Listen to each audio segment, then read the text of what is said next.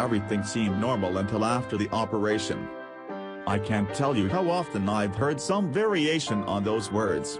My medical specialty is cognitive and behavioral neurology, which translates into seeing a lot of patients with cognitive impairment.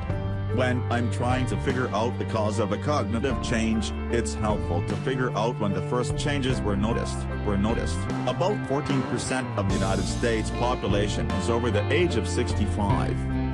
At least half of those over the age of 65 will have at least one surgery. That's not a small number. It's been estimated that about 7 to 15% of the elderly who undergo an operation will have some form of neurological adverse outcome.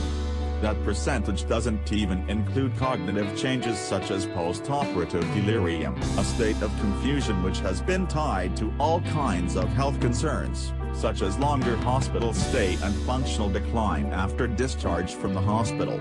Estimates of post-operative delirium range from 10 to 50%, though the risk varies depending on the type of surgery, age and other medical problems. The statistics above also don't necessarily include other, more subtle cognitive changes. Traditionally, surgeons have concerned themselves with mortality, or the quantity of life, as a primary marker of surgical success.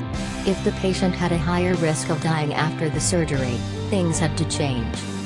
But what about the quality of life? What if patients live for a long time, but lose their mind in the process? Process. The last several years have seen increased attention spent on cognitive outcomes after surgeries. There's been a lot of debate. For one thing, often cognitive functioning has not been well assessed prior to the surgery. I've often found that when pressed, families can describe subtle cognitive changes that predate any operation, which became more obvious after surgery. In that case, surgery isn't causing cognitive decline, but exacerbating it. Another argument is what it is about a surgery that increases risk. Certainly some surgeries, such some of those performed on the heart, can increase the risk of strokes which could alter independent functioning after leaving the hospital. Those risks must be weighed against the risks of not having a surgery, which in some cases could mean probable death in a short period of time. Time, or maybe it's not actually the surgery, but the anesthesia given. Certainly there are many surgeries that shouldn't be done without sufficient anesthesia, but does the amount of drug impact cognitive outcome? Outcome? Anesthesiologists can vary the amount of drug they give. Some patients prefer to be almost awake during surgeries, whereas for others that would be a horror. Even if higher doses of anesthesia does worsen cognitive outcomes afterwards, there are dangers to lighter doses. Doses. The patient may move while under the scalpel.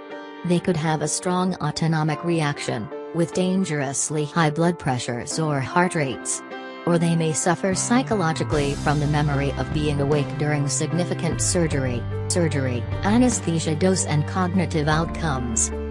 Doctors have tried to answer the question of how anesthesia dose impacts cognitive outcomes in a variety of different ways.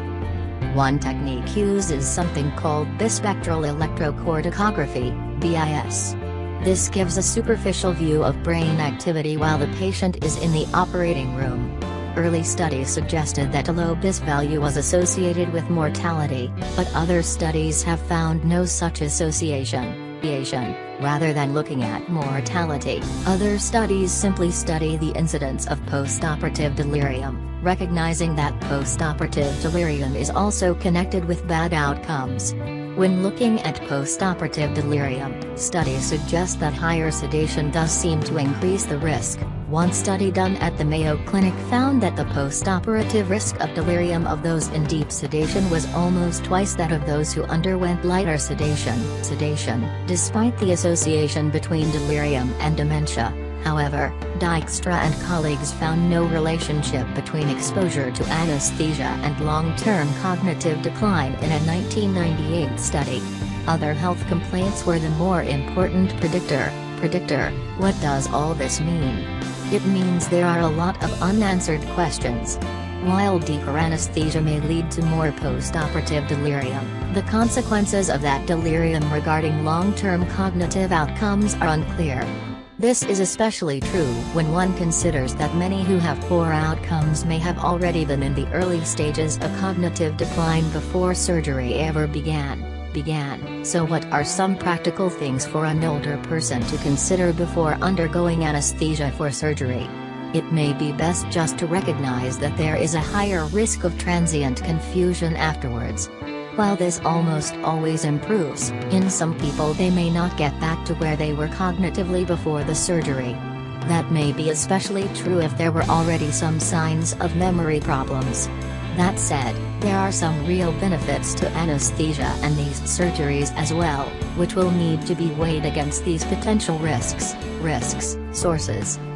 Jacqueline Leung, Anesthetic Depth, and Postoperative Cognitive Outcomes, UCSF Memory and Aging Center Grand Rounds, June 26, 2015 15 Jeanette B. Dijkstra Ph.D., Martin P. J. Van Boxtel M.D., Ph.D., Peter J. Houx Ph.D. and Jelmer Giles Ph.D.